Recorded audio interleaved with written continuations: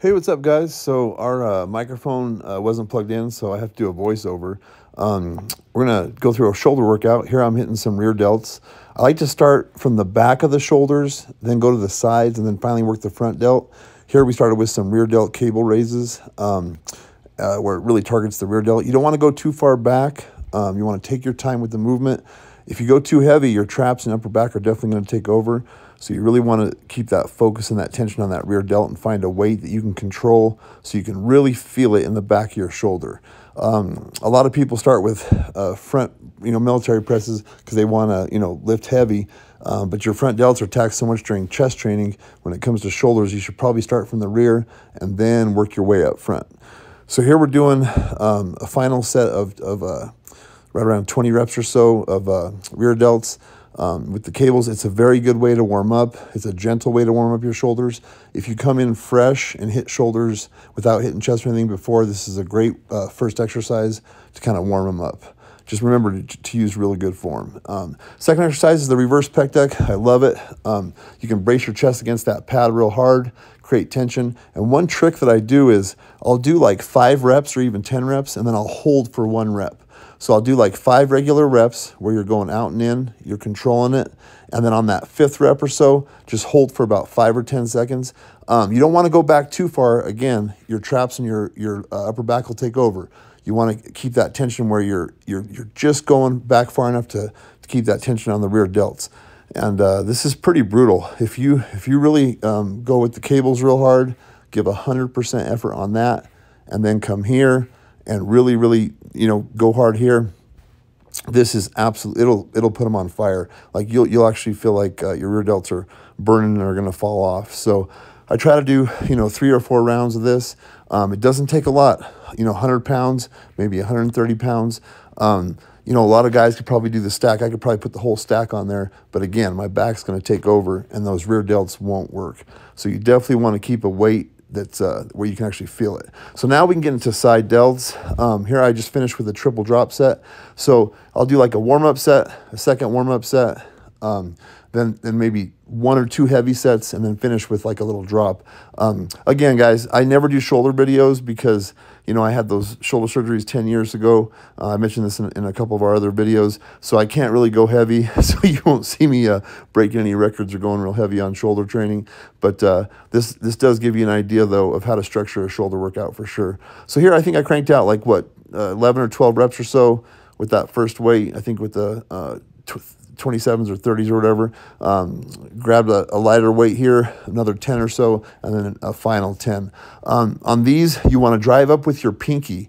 You don't want to bend um, at the elbow too much, and you don't want your elbow to um, to lead too much either. You don't want your arms to dip down and cheat. You want to keep that arm slightly bent.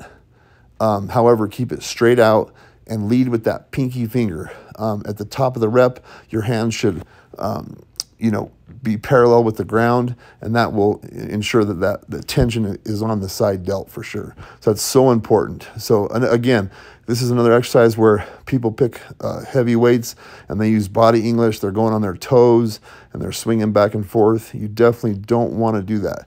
You want to take your time, keep your feet planted, and just move your shoulders. The only thing that should be moving is your, your arms and shoulders in a very controlled fashion. So that'll target those those side delts for sure and create that illusion. Um, you can't get enough side delt. I don't care, guy or girl. Um, shoulders they make your waist look smaller. They give you that V taper. Um, it's just a it's a really good uh, muscle to have. Okay, so here um, we have a couple different options. We have an Arsenal side lateral, then we have the Life Fitness side lateral.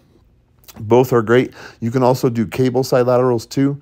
Um, so here I just do one arm at a time. For me, I like to get into it a little bit and kind of step forward and then into the uh, um, to the handle there and then just do one arm at a time. I feel like it's more stable than doing both arms at a time.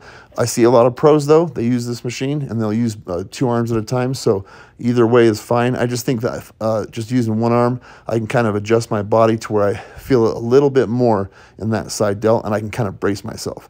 So either way is fine, like I said, but I just like to do the uh, the one arm at a time thing, and it really works good. And it doesn't take a lot of weight here either. Um, if you go too far up, again, those traps are going to take over up on top. Um, I know Nick Walker likes to go up pretty high, but other than that, everybody else usually keeps theirs just their arm just straight out at the top of the movement. And here I just wanted to show you, um, again, that microphone didn't work, but I just want to show you the other machine. So I actually don't recommend doing a third side lateral movement. That'd be overtraining. I just wanted to show everybody that that's our other machine that we have um, so that either one's just fine or even the cable side laterals. So either way is good, but I do like to do two rear delt movements, two side delt movements, and then uh, one maybe overhead military press movement. So, um, so I wanted to show you this just real quick, just to kind of explain that for sure. So um, after this, you can finish with, we have a ton of military presses. We've got a, a barbell military press, dumbbell military press, plate loaded military press, cable military press, and the hammer strength selectorized military press. So we have a ton of, uh, of presses. Um, notice that my hands, you don't want to start that far down that you just saw there. You want to start with your hands at ear level. Um, if you dip your hands down during a heavy press, any, anywhere below that, your tendons are going and your connective tissues are going to kind of take over. It's going to put a lot of stress on those labrums and the rotator cuffs. So make sure you're real careful to go from your eyes all the way up and not jerk. Again, you don't want to come down too fast either and then bounce off the bottom. You want to keep it controlled and kind of like control as you go. So I was just kind of showing you this stuff here. I have to be real careful on this movement too so I don't get hurt. But, uh, and then here's just another example. I just wanted to pop over here again and show you that, see, I keep the seat pretty low to where I start at eye level and it just saves those, those you know, shoulder uh, connective tissues uh, from getting hurt. So I'm just, I'm just playing it safe long term. You know, it's about longevity. Um, it's one thing to do something for five years real hard and then have shoulder issues and get and get injured, but you just don't want to do that. So, well, thanks for watching, guys. I really appreciate it. Um, uh, hope everybody comes and says what's up at Achieve Fitness. Um, this is probably our last video before the, the show. I'm definitely drained, but uh, looking forward to competing in a couple weeks. And thank you for your time, and uh, we hope to see you. Take care.